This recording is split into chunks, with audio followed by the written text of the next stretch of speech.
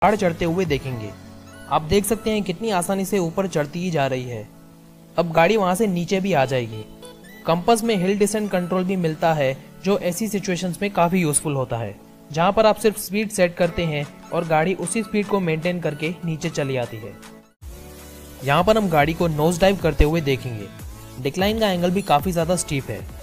आगे आप देखेंगे नीचे पहुंचकर गाड़ी का अगला हिस्सा ऑलमोस्ट ज़मीन को टच हो जाता है पर उसके बावजूद गाड़ी आगे बढ़ती ही रहती है और पार कर लेती है